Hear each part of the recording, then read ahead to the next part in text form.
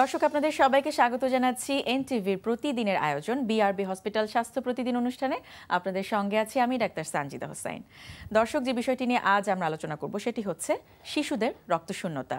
এ বিষয়টি নিয়ে আলোচনার জন্য আমাদের মাঝে উপস্থিত আছেন যে বিশেষজ্ঞ চিকিৎসক। চলুন, প্রথমেই পরিচিত হওয়া যাক তার সাথে। ডাক্তার আবিদ হোসেন মোল্লা উনিশশো সাতান্ন সালের জুন মাসে যশোর জেলায় জন্মগ্রহণ করেন। তিনি উনিশশো বিরাশি সালে ঢাকা মেডিকেল কলেজ থেকে এমবিবিএস ডিগ্রি অর্জন করেন।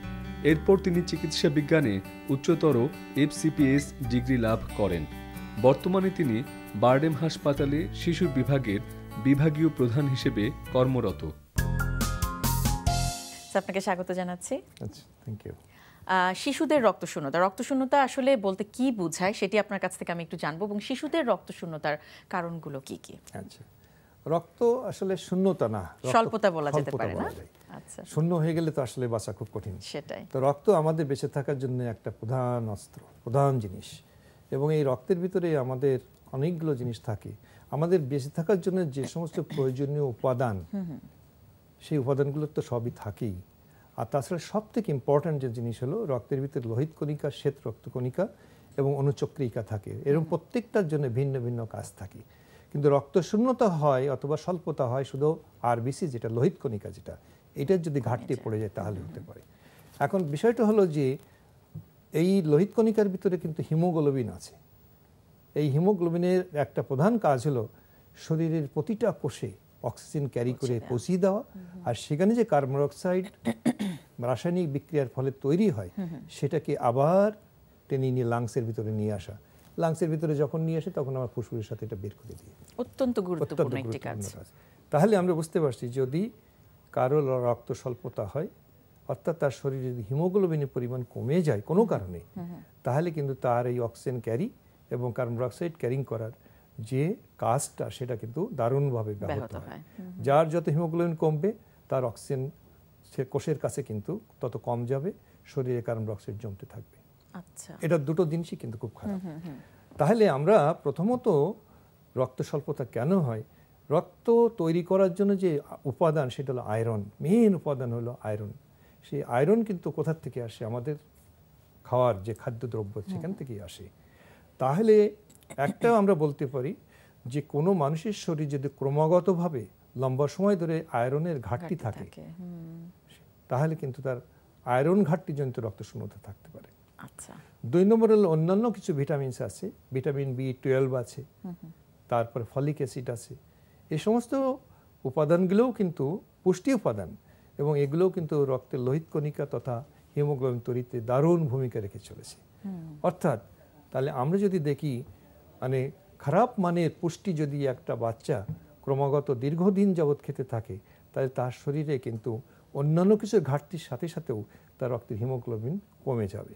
এবং বেশিরভাগ ক্ষেত্রে আমাদের দেশের শিশুরা সাধারণত আয়রন ঘাটতিজনিত রক্তশূন্যতায় ভোগে। একদম খুব আমরা দেখি। লো কোয়ালিটি ফুডস আচ্ছা। এই একটা জিনিস। দুই নম্বর হলো রক্তের লোহিত কণিকাটা কিন্তু তৈরি হয় আমাদের বোন ম্যারোর মধ্যে অস্থিমজ্জার মধ্যে তৈরি হয়। তৈরি হওয়ার পর সে যখন সার্কুলেশনে আসে রক্তের মধ্যে আসে তখন কিন্তু তার স্থায়িত্ব প্রায় চার মাস। এই চার মাস পরে এই আরবিসিগুলো বুড়ো হয়ে মারা যায়। আবার নতুন প্রতিদিন নতুন নতুন আরবিসি তৈরি হচ্ছে এবং ম্যাচিউর হচ্ছে। তাহলে এরকম যদি আমরা দেখি কোনো না কোনো কারণে এই আরবিসিগুলোর যদি মানে আয়ু কমে যায়। কমে যায় মানে অল্প বয়সে যদি ভেঙে যায় তাহলে কিন্তু দেখা যায় সেই ভেঙে যাওয়া আর লোহিত কণিকার থেকে হিমোগ্লোবিনগুলো কুলে পড়ে নষ্ট হয়ে তাহলে সেটাও কিন্তু রক্তশূন্যতার আরেকটি আরেকটা কারণ। আচ্ছা। এবং আমরা মানে কথায় কথায় শুনেছি যে এই যে থ্যালাসেমিয়ার কথা শুনি হিমোগ্লোবিন ই ডিজিজের কথা শুনি এই সমস্ত জেনেটিক যে প্রবলেমসগুলো থাকে বাচ্চাদের কোনো বাচ্চা যদি তাতে ভোগে তাহলে কিন্তু তার শরীরে হিমোগ্লোবিনের পরিমাণ কমে যায়। সেখানে কিন্তু ঘাটতিজনিত হিমোগ্লোবিন কম না এখানে কিন্তু আরবিসির স্থায়িত্ব আয়ুষ্কাল কমে গেছে। আচ্ছা। বোঝা গেল? এছাড়া এই দুটো হলো মেন কারণ। এছাড়া অন্যান্য যে সমস্ত কারণ হয় তার ভিতরে একটা হলো রক্তক্ষরণ। কোনো মানুষের যদি দেখা যায় যে কোনো রোগের জন্য তার শরীর থেকে রক্তক্ষরণ হয়ে যাচ্ছে ব্লিডিং বন্ধ হচ্ছে না সেটাও একটা কারণ। দুই নম্বর হলো রক্ত প্রোডাকশান হয় যেখানে সেই বোনম্যারের মধ্যে। সেখানে যদি কোনো রোগ হয় পার্টিকুলারলি বোন ম্যারো অ্যাপ্লাসিয়া বলে অ্যাপ্লাস্টিক এনিমিয়া বলে অথবা সেখানে যদি কোনো বোনের মানে মানে হিমাটোলজি ক্যান্সার হয় সেখানে আর বেশি তৈরি হচ্ছে না। তো সেগুলো আমরা খুব কমন প্রবলেম না। কিন্তু কমন প্রবলেম হলো একটা। সেটা হলো আয়রন রক্ত শূন্যতা। এবং তার সাথে সাথে কিছুটা আপনি বলছিলেন জেনেটিক যেটা বললাম থ্যালাসেমিয়া। এই দুটোই হলো আমাদের বাচ্চাদের রক্ত শূন্যতার প্রধান দুটো কারণ। আচ্ছা তাহলে সবচেয়ে কমন যেটি আপনি বলেছেন যে আয়রন ডেফিসিয়েন্সি এনিমিয়া এবং আয়রনের ঘাটতির কারণেই এই এনিমিয়াটা হয়। কোনো আহ, শিশু তার রক্ত স্বল্পতা হচ্ছে কিছু লক্ষণ বা তার কিছু অ্যাক্টিভিটিস বা কোনো কিছুর মাধ্যমে নিশ্চয়ই প্রকাশ পায় আহ, বোঝা যায়। সেটি বোঝার উপায়। এই যে বোঝার উপায় হলো একটা বাচ্চা খুবই ভালো ছিল প্রাণ চাঞ্চল্যে ভর করছিল দৌড়ঝাঁপ খেলাধুলা করতো। কিন্তু কয়েকদিন যাবত দেখা যাচ্ছে যে তার প্রাণ চাঞ্চল্যে ঘাটতি পড়েছে। সে আগে যেভাবে মানে উচ্ছ্বসিত থাকতো এবং তার ভিতরে। একটু উচ্ছ্বাসটা কমে গেছে। আচ্ছা। তাই আগে যেমন খাওয়া দাওয়া করতো এখন খাওয়া ক্ষুধা মন্দা চলে এসছে। এবং কোনো কোনো ক্ষেত্রে দেখা যায় যে বাচ্চার লেখাপড়ার প্রতি মনোযোগ অ্যাটেনশন ডেফিসিট এটাও কমে যাচ্ছে। তো সুতরাং এই ধরনের যে নন স্পেসিফিক কথাগুলো বললাম সেটা কিন্তু আয়রন ঘাটতিজনিত রক্ত শূন্যতার একটা প্রধান সিমটমস আচ্ছা। এছাড়া আয়রন ঘাটতিতে শরীরের ভিতরে আরও কতগুলো জিনিস চলে আসে সেটা কিন্তু অল্প কয়েকদিন আয়রন ঘাটতির জন্য হয় না লম্বা- সময় ধরে যদি আয়রন ঘাটতি থাকে। যেমন জিহ্বা আমাদের যে জিহ্বা আছে এখানে দেখা যাবে দানা দানা অনেকগুলো জিনিস আছে। সেই জিহ্বা কেমন যেন মানে সেই দানাগুলো নাই নখে পরিবর্তন আসে ইত্যাদি ইত্যাদি এগুলো সাধারণত অনেক দিন ধরে যদি ডেফিসিয়েন্সি থাকে। আচ্ছা। তো যখন আসলে এই জাতীয় সমস্যা হয় আপনাদের কাছে তো সব আসলে যাওয়ার আগে বেশি প্রয়োজন আসলে প্রিভেনশন বা আমরা প্রতিরোধের বিষয়টা একটু জানতে চাই যে সবার ক্ষেত্রেই তো আর এই ডেফিসিয়েন্সি হয় না। যাদের কিছুটা খাবার দাবার খাদ্যাভ্যাস এবং রুটিনের কোনো সমস্যা থাকে বা পুষ্টিহীনতা আপনি বলেছেন পুষ্টির ঘাটতি যখন থাকে তখনই আয়রন ডেফিসিয়েন্সিটা সাধারণত হয়ে থাকে। তো সেক্ষেত্রে আমি যদি প্রতিরোধের বিষয় এবং যারা বাবা মা আছেন তারা যদি চায় যে না তার ছেলেটিকে মেয়েটিকে একটি স্বাস্থ্যসম্মত খাদ্যাভ্যাস করানোর জন্য যাতে আয়রন ডেফিসিয়েন্সি নিমে না হয়। কি করণীয়? এখন বিষয়টা হয়েছে যে একটা বাচ্চা যখন জন্ম হয় তারপরে আমরা তাকে বলি মায়ের দুধ দেওয়ার জন্যে। কারণ মায়ের দুধের ভিতরে এই রক্ত তৈরি করা উপাদান সহ বিভিন্ন রকম উপাদান এত ইমেন্স এত প্রচুর পরিমাণে আছে যে বাচ্চার প্রথম ছয় মাসের ভিতরে এটা নিয়ে আমাদের চিন্তা করতে হয় না। কিন্তু যদি এখানে খেয়াল করেন যদি বাচ্চাটা মায়ের বুকের দুধ থেকে বঞ্চিত হয় এবং সে বঞ্চিত হয়ে কি দিচ্ছে? তাকে অন্য কোনো দুধ দিচ্ছে বাজার থেকে কিনে এনে দিচ্ছে। গরুর দুধ দিচ্ছে। গরুর দুধ দিচ্ছে। অনেক সময় ছাগলের দুধও দিতে শুনেছি। তো এই যেগুলো দেওয়া যায় তার মধ্যে কখনো দেখা যায় যে এই বাচ্চাটা নারীর ইনফেকশনে ভুগছে। কারণ বাইরের দুধ সে টলারেট করতে পারছে না। এবং গরুর দুধে এই বয়সে দিলে পরে অনেক সময় মাইক্রো হেমোরেজ হয়। আয়রন কমে যায়। আচ্ছা। ঠিক আছে? তারপর বাজারে যে সমস্ত দুধগুলো দেওয়া হয় সেগুলো এর জন্য বা এই বাচ্চার জন্য সহায়ক নয়। সুজি খাওয়ানো লাগে অনেক কিছু খেতে পারে দুই নম্বর হলো সমর যখন পড়ে যায় তখন মায়ের ভিতরে একটা ধারণা হয় এতদিন তো আমার দুধে চলছিল বাচ্চা এখন বড় হয়ে গেছে নিশ্চয়ই আমার দুধে হবে না। তাহলে মা তখন চিন্তা করে বিকল্প আর একটা দুধের জন্যে। কিন্তু সমস্যাটা হচ্ছে এখানে। আমরা যখন বলি যে সমর যখন হয়েছে তখন মায়ের দুধে কম পড়বে টান পড়বে এটাই তো নিয়ম। বাচ্চা যখন আট মাস হবে দশ মাস হবে তখন টান আরেকটু বেশি বাড়বে পড়বে। হ্যাঁ হ্যাঁ। কিন্তু সেখানে কিন্তু অন্য খাবার দিতে হবে অন্য দুধ না। আচ্ছা অন্য খাবার অন্য খাবার। হ্যাঁ। কোন খাবার যে যে খাবারটা আয়রন রিচ যে খাবারটার ভিতরে পর্যাপ্ত পরিমাণ আয়রন আছে যে খাবারগুলো দেখতে কালছে যে খাবারগুলো কেটে দিলে দেখা যায় কিছুক্ষণ পরে সারফেসটা কালো হয়ে গেছে এই খাবারগুলো এর মধ্যে আয়রন আছে প্রচুর। এবং এখানে আমরা বিভিন্ন রকম মানে কলা কথা বলি কচুর কথা বলি লাল শাকের কথা বলি ব্রোকুলির কথা বলি এরকম বিভিন্ন রকম। কালো কালো দেখতে যে খাবারগুলো আচ্ছা ভেজিটেবল তার মানে কালো কালো দেখতে যেগুলো সেগুলোতেই আমরা ধরে নিতে পারি। প্রচুর আয়রন একটা আপেল আপনি কেটে দেন দেখবেন কিছুক্ষণ পরে কালো হয়ে যাচ্ছে। একটা বেগুন আপনি কাটেন দেখবেন কালো হয়ে যাচ্ছে। আয়রন আছে। আচ্ছা। আচ্ছা সিম আছে তো এর সাথে মাছ মাংস সেগুলো তো আছেই। তো সেগুলোর মধ্যে প্রচুর আয়রন থাকে। কিন্তু অত্যন্ত দুঃখের সাথে বলতে হয় যে ছমাস যেই শেষ হয়ে গেল এই বাচ্চাদের ভিতরে মানে প্রতিযোগিতায় টিকে থাকার মতো অবস্থা নিয়ে সুজি খাওয়ানো শুরু হয়। চালের গুঁড়া নিয়ে খাওয়ানো শুরু হয়। এই খাবারগুলো দেখতে কেমন? সাদা।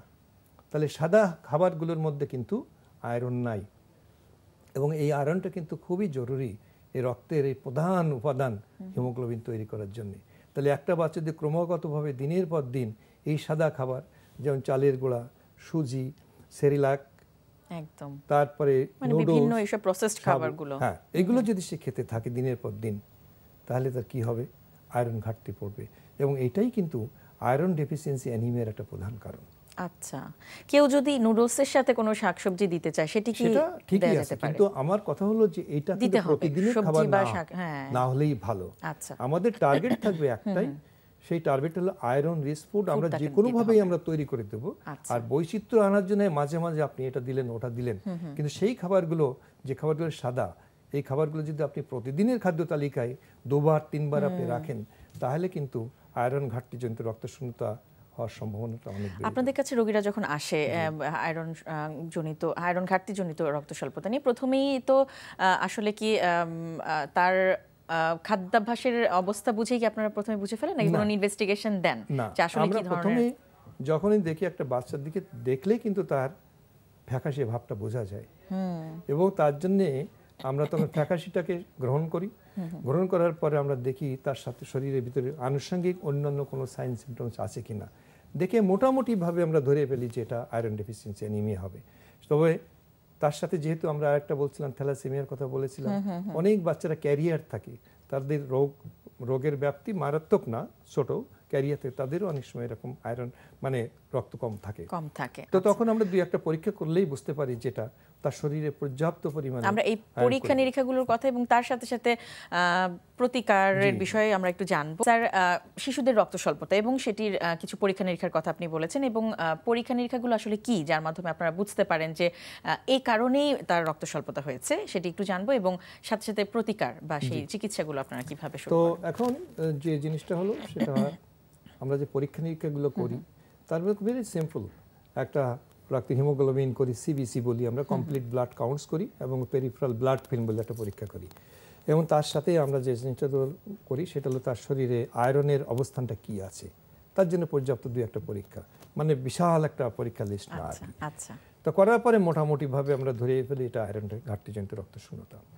এখন এই রক্তশূন্যতার চিকিৎসাটা কি করতে হবে? চিকিৎসা কিন্তু শুধু ওষুধ দিয়ে নয় তার সাথে পর্যাপ্ত পথ্য যে পথ্যগুলোর ভিতরে আয়রন আছে। তাহলে আমরা সেই আয়রন আছে এমন খাদ্যগুলো খাদ্য তালিকায় নিয়ে আসব এবং আয়রন নেই এই খাবারগুলো খাদ্য তালিকা থেকে আস্তে আস্তে সরিয়ে একেবারে সরিয়ে দেওয়ার চেষ্টা করা হবে। এবং এর সাথে আমাদের আয়রন কন্টেনিং যে কোনো ওষুধ সেটা আমরা নির্দিষ্ট মাত্রায় নির্দিষ্ট ডিউরেশন সাধারণভাবে চার থেকে ছ মাস লাগে এবং মোটামুটি এটা দিলেই এই সমস্ত বাচ্চারা রিকভার করে আসে। কিন্তু সমস্যা হয় যদি মা বাবারা তাদের পূর্ব অবস্থান থেকে না সরেন। অর্থাৎ যে খাবারগুলো আগে খাওয়াইতেছিলেন সেই সমস্ত জায়গাগুলোতে যদি ওনারা পরিবর্তন না করেন বাচ্চাটি তো ওষুধ খাচ্ছে অসুবিধা নেই তাতে তাতে কিন্তু লাভ হয় না। দিনের পর দিন মাসের পর মাস চলে যাচ্ছে কিন্তু বাচ্চার হিমোগ্লোবিন কিন্তু ইমপ্রুভ করছে না। কিন্তু যখন দুটোর একটা একটা আরেকটার সাথে জড়ো হয়ে যায় তখন দেখা যায় যে বাচ্চার ইম্প্রুভমেন্ট খুব ইয়ে হয়েছে। এবং তার প্রাণ চঞ্চলে চলে আসছে তার শরীরে এখন অক্সিজেন ক্যারিং ক্যাপাসিটি বেড়ে গেছে সে এখন আগের মতো উৎফুল্ল হয়ে গেছে। এবং রেসপন্স অত্যন্ত ড্রামেটিক এত ভালো। একেবারে। থ্যালাসেমিয়ার কথা আপনি বলছিলেন এবং এটি একটা আমরা কিন্তু দেখি যে এবং অনেক ক্ষেত্রেই যখন ক্যারিয়ার থাকে যে থ্যালাসেমিয়ার ক্যারিয়ার হিসেবে যে বাচ্চাগুলো তাদের ক্ষেত্রে আসলে কি করণীয় এবং যখন চিকিৎসার জন্য বা সেই সচেতনতা বৃদ্ধি যে মেনটেনেন্স করার জন্য আপনাদের কাছে যখন বাবা মা আসেন এই ক্ষেত্রে তারা একটু উদ্বিগ্ন থাকেন যে আমার সন্তানটির এই সমস্যা। কি বলেন বা কি পরামর্শ তাদের কথা হলো যে থ্যালাসিমিয়ার কিন্তু প্রকারভেদ আছে। যেটা থ্যালাসিমিয়া মেজর বলি আমরা এই মেজরটা কিন্তু বেশ মারাত্মক একটা অবস্থা। যে অবস্থা থেকে বাচ্চাটাকে বাঁচানোর জন্য তাকে প্রতি মাসে মাসে রক্ত দিতে হয়। রক্ত লোহিত কণিকাগুলো দিতে হয়। এবং মানে একই সাথে লোহিত কণিকা দেওয়ার পাশাপাশি তার শরীরে যে অতিরিক্ত আয়রন জমে যায় সেগুলো বের করার জন্যও নানাবিধ ওষুধ দিতে হয়। এটা গেল মারাত্মক ইয়ে কিন্তু আপনার প্রসঙ্গ ছিল যারা ক্যারিয়ার হ্যাঁ। ক্যারিয়াররা কিন্তু শুধু একটা অ্যাবনর্মাল জিন তারা ক্যারি করছে কিন্তু তারা নিজেরা কিন্তু সাফার করছে না। এই ক্যারিয়ারের যখন আরেকজন ক্যারিয়ারের সাথে বিয়ে হবে তখন কিন্তু তাদের গর্ভস্থিত সন্তানের প্রত্যেকটা প্রেগন্যান্সিতে শতকরা পঁচিশ ভাগ সম্ভাবনা থাকবে মারাত্মক থ্যালাসেমিয়া ঠিক আছে? তাহলে এই থ্যালাসেমিয়া ক্যারিয়ার যারা এদের নিয়ে আমাদের কোনো চিন্তা নেই। এবং তাদের কিন্তু কোনো খাবারে কোনো পরিবর্তনের উদাহরণ সে স্বাভাবিকভাবে বড় উঠছে বড় হয়ে যে আট দশটা বাচ্চার মতো বেড়ে উঠবে। এবং কখনো কখনো তাদের এই পুষ্টির পাশাপাশি আমরা তার আরবিসি যেগুলো তৈরি হয় সেগুলো যাতে আরেকটু ভালো ম্যাচুরেশন হয় সেজন্য ফলিক অ্যাসিড বলে একটা ওষুধ নির্দিষ্ট মাত্রার মধ্যে দিয়ে দেয় সেটা সে খায়। এবং দেখা যায় বেশিরভাগ ক্ষেত্রে কয়েক মাস বা কি বছর খাওয়ার পর এটা আপনার থেকে বন্ধ হয়ে যায়। একটা ওষুধকে দিনের পর দিন খাওয়া যায়। অর্থাৎ স্বাভাবিকভাবে এক কথাই বললে থ্যালাসিমিয়া মেজন নিয়ে তাদের খাবার অভ্যাসে তাদের জন্য আনুষঙ্গিক কোনো ওষুধপত্র কিন্তু কোনো প্রয়োজন নাই। সে লেখাপড়া করবে বড় হবে এবং আর দশটা বাচ্চার মতো। সুতরাং মা বাবাদের এটা নিয়ে যেন কোনো রকম ভয়ের কিছু নেই। স্যার দেখা যায় যে আসলে রক্ত স্বল্পতা এবং আপনি বলছিলেন যে আয়রন ডেফিসিয়েন্সি এনিমিয়ার ক্ষেত্রে রক্ত বেশিরভাগ ক্ষেত্রেই খাদ্যাভ্যাসটা একটা বড় ফ্যাক্টর এবং বড় কারণ। অনেক সময় কিন্তু দেখা যায় যে শুধু খাদ্যাভ্যাস দিয়েও ঠিক হয়ে যায় আহ, কোনো সাপ্লিমেন্ট ছাড়া। তো সেক্ষেত্রে সাধারণত আমাদের যারা বাবা মা আছেন তাদের প্রতি আপনাদের কি পরামর্শ থাকে? যে আসলে কতদিন এই মনিটরিংটা আসলে করবেন তারা যে আসলে খাদ্যাভ্যাস দিয়ে তারা ঠিকঠাক মতো আছেন কিনা বা কাঙ্ক্ষিত লক্ষ্যে পৌঁছেন পৌঁছেছেন কিনা এটা নিয়ে কোনো জটিল অঙ্ক করার দরকার নেই। আচ্ছা। আমরা একটা পরিবারের ভিতরে পাঁচজন মানুষ আছি কথা কথা।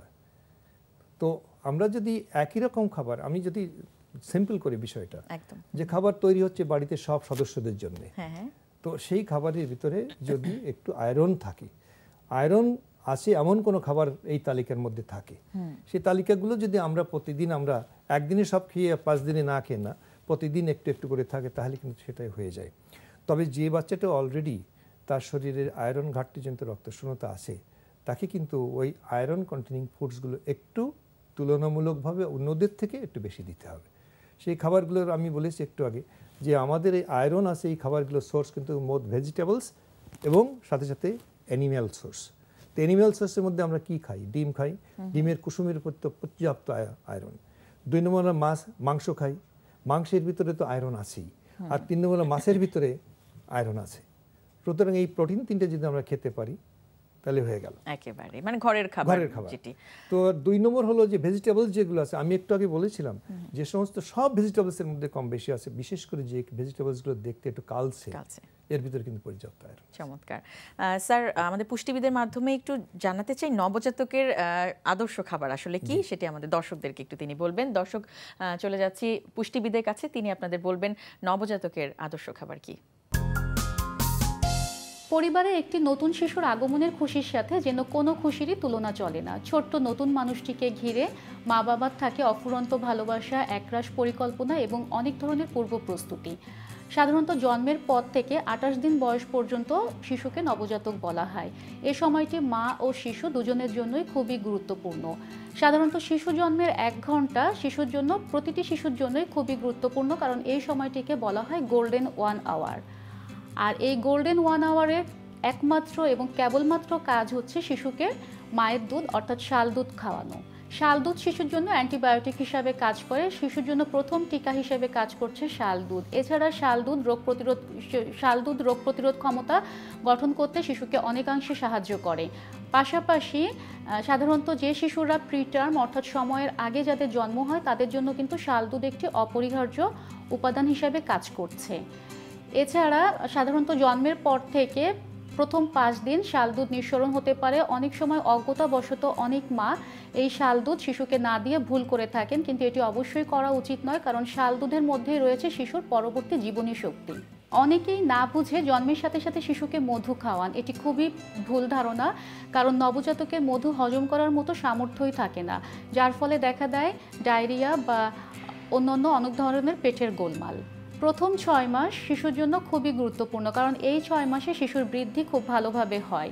শিশু খুব দ্রুত বাড়ে। আর এই ছয় মাসে শিশুর জন্য যে পরিমাণ প্রয়োজনীয় পুষ্টি দরকার, তার সবই কিন্তু মায়ের দুধে বিদ্যমান থাকে। অর্থাৎ শিশুকে এক্সক্লুসিভ ব্রেস্ট ফিড করাতে হবে। ইউনিসেফ এবং ডাব্লিউএইচওর মতে এক্সক্লুসিভ ব্রেস্ট ফিডের কিছু পূর্ব শর্ত রয়েছে। সেগুলি হচ্ছে, জন্মের এক ঘণ্টার মধ্যে শিশুকে অবশ্যই মায়ের দুধ দিতে হবে। শিশুর বয়স ছয় মাস না হওয়া পর্যন্ত শিশুকে মাতৃদুগ্ধ পান করিয়ে যেতে হবে এবং এই সময়ের মধ্যে শিশুকে কোনো ধরনের পানি বা অন্য কোনো তরলও দেওয়া যাবে না। বিভিন্ন স্টাডিতে এসেছে যেসব শিশু মাতৃদুগ্ধ পান করে বড় হয়েছে, তারা কিন্তু জীবনের পরবর্তী পর্যায়ে বিভিন্ন রোগ, যেমন ওবেসিটি ডায়াবেটিস কিংবা হার্ট ডিজিজে তাদের আক্রান্ত হওয়ার ঝুঁকি কমে যায়। অনেক সময় অনেক বাবা মা অধিক উদ্বিগ্ন হয়ে ভাবেন যে শিশু শিশুটি আসলে সঠিক পরিমাণে খাবার পাচ্ছে কিনা, এটা ভেবে অনেক সময় কমার্শিয়াল ফর্মুলা ফুডের দিকে আকৃষ্ট হন এবং শিশুকে দেখা যাচ্ছে হয়তোবা কমার্শিয়াল ফুড দিয়েও ফেলছেন বাট এটি খুবই ভুল ধারণা। প্রকৃতপক্ষে মায়ের দুধের কোনো বিকল্প নয় কমার্শিয়াল ফর্মুলা ফুড কখনোই মায়ের দুধের বিকল্প হতে পারে না। আমাদের দেশে নবজাতককে সুজি খাওয়ানোর একটি প্রবণতা আছে। এটিও প্রকৃতপক্ষে একটি ভুল ধারণা, কারণ জন্মের পর থেকে শিশুরা আসলে মায়ের দুধ মায়ের দুধ এবং মায়ের দুধের, মায়ের দুধই চলবে আপ টু সিক্স মান্থস পর্যন্ত। আর শিশুটি আসলে সঠিক পুষ্টি পাচ্ছে কিনা, এটি বোঝার খুব ভালো উপায় হচ্ছে শিশুটি ওজন বাড়ছে কিনা এবং আরেকটু বিষয় খেয়াল করতে হবে যে শিশুটি কর্মচঞ্চল কিনা, শিশুটি অ্যাক্টিভ কিনা। নবজাতকের পুষ্টির পাশাপাশি আসলে আমাদেরকে কিন্তু মায়ের পুষ্টির দিকেও খেয়াল রাখতে হবে, কারণ একজন নবজাতকের পুষ্টি কিন্তু মায়ের পুষ্টি থেকেই আসছে। নবজাতক মায়ের এক্ষেত্রে অতিরিক্ত সাড়ে সাতশো ক্যালোরি পাশাপাশি তিরিশ গ্রামের মতো অতিরিক্ত প্রোটিন প্রয়োজন হচ্ছে। সুতরাং মায়ের খাবারের দিকেও কিন্তু আমাদেরকে যথেষ্ট গুরুত্ব দিতে হবে। মাকে অবশ্যই প্রোটিন সমৃদ্ধ খাবার যেমন ডিম, মাছ, মাংস, এছাড়া ক্যালসিয়াম, ফোলেট এবং ওমেগা থ্রি সমৃদ্ধ খাবার নিয়ম করে মাকে খাওয়াতে হবে। এক কথায় বলা যায়, মায়ের সঠিক যত্ন ও সঠিক পুষ্টির উপরই নির্ভর করছে কিন্তু নবজাতকের সঠিকভাবে বেড়ে ওঠা।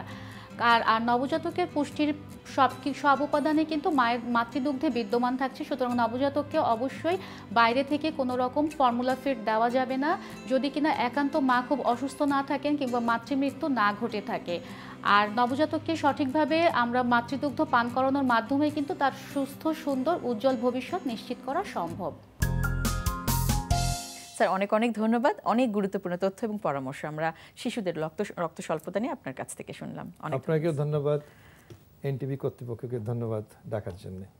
দর্শক, আমরা শুনছিলাম শিশুদের রক্ত স্বল্পতা বিশেষ করে আয়রন ডেফিসিয়েন্সি, এনিমিয়া বা আয়রনের ঘাটতিজনিত যে রক্ত স্বল্পতা সেই বিষয়টি নিয়ে বেশ কিছু গুরুত্বপূর্ণ তথ্য এবং পরামর্শ আমাদের আজকের অতিথির কাছ থেকে। জানলাম এটি প্রতিরোধের উপায়, নিশ্চয়ই আপনাদের উপকারে আসবে। এ পর্যায়ে চলুন দেখে নিই কী থাকছে আগামী পর্বে বিআরবি হসপিটাল স্বাস্থ্য প্রতিদিনে। আগে যেটা আমরা মনে করতাম যে সিগারেট খেলেই লাং ক্যান্সার হবে, এখন আমরা দেখছি যে না, যারা সিগারেট খায় না, যারা মহিলা, যারা এশিয়ান অ্যানসেস্ট্রি ব্যাকগ্রাউন্ড তাদের জেনেটিক মিউটেশনের জন্য লাং ক্যান্সার হচ্ছে। প্রিয় দর্শক, বিশ্বের যে কোনো প্রান্ত থেকে যে কোনো সময় আপনার প্রিয় অনুষ্ঠান বিআরবি হসপিটাল স্বাস্থ্য প্রতিদিন দেখতে ভিজিট করুন আমাদের পূর্ণাঙ্গ ওয়েব পোর্টাল ডট কমে এছাড়াও এনটিভির জনপ্রিয় সব অনুষ্ঠান ও খবরের আপডেট জানতে ভিজিট করুন আমাদের ইউটিউব ও ভ্যারিফাইড ফেসবুক পেজ সবাই ভালো থাকুন, সুস্থ থাকুন। আগামীকাল আবারও দেখা হবে ঠিক একই সময় এনটিভির পর্দায়।